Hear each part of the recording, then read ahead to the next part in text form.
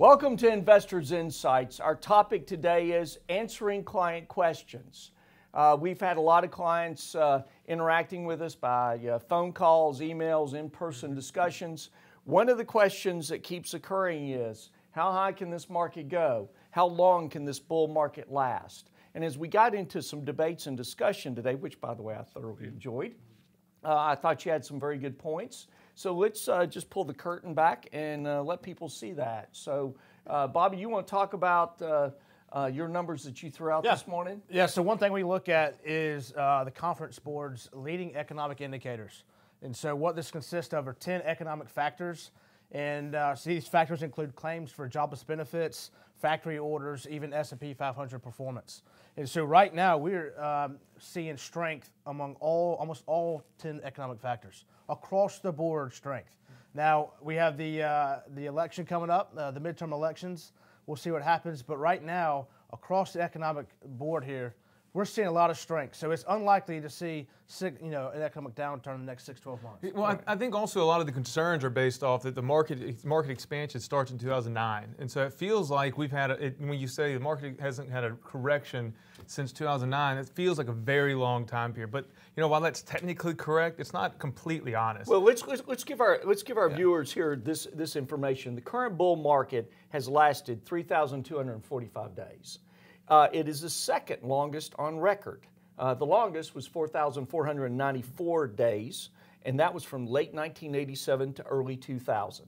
Now, in that time period, that late 1987 to 2000, uh, that market, that bull market, did not experience a single decline of 20%. So if you look at that, then one would say, wow, we still have over a thousand days to go to catch up with the longest bull market. But then you interjected, Trey, a whole different perspective that I think our viewers need yeah, to hear. Yeah, so kind of if you look at the numbers, really it, we're not from 2009 expansion. We're really at the beginning of the 2016-2017 expansion okay, from an that. from an economic market standpoint. So, like, go back to 2016. The first 2016 J- January was the worst January in history. The market fell north of 15 percent. Not technically a correction because it didn't reach 20 percent, but it got really close. We also had five straight quarters of the S&P 500 earnings dropping. Right. That's not terribly great. We also had negative uh, manufacturing growth. We had a huge right. industry in oil. I think we all remember oil collapsed, nearly completely taking out the entire oil industry. So while, while that was technically not a market correction, it looked very much like an economic right. downturn. And so sure. it, it feels like we've, if you start in 2009, yes, this is getting long, not the longest in history, but if you, if you really look at the numbers, we're just at the beginning of a new possible bull run. And you look, and it comes out in the earnings. Earnings growth second quarter is looking to be 24.6%.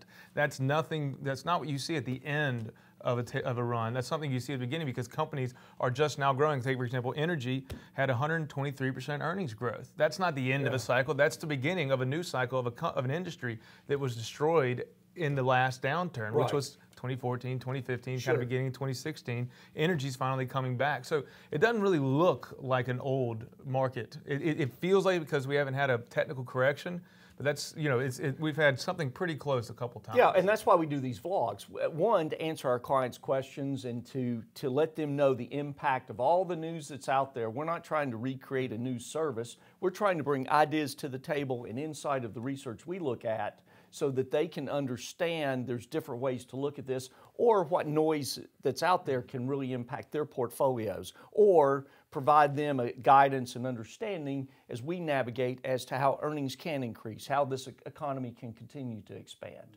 So on that note, hopefully you've watched this today from your phone, your laptop, uh, office, home, to understand better that we still think that there's uh, momentum in this market. Uh, earnings are still running strong, and we're going to keep you updated. We also appreciate all the questions. This is one example of how we respond to clients' questions. Continue to have that interaction with us. And then the last thing, what a great compliment.